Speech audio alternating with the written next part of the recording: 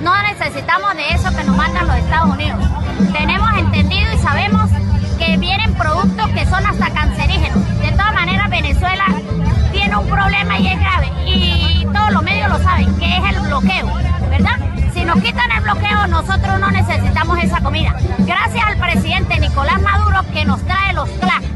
Estamos conformes con el CLAC que nos da el presidente. Esa es la comida que nosotros aceptamos. Ayuda humanitaria no la necesitamos.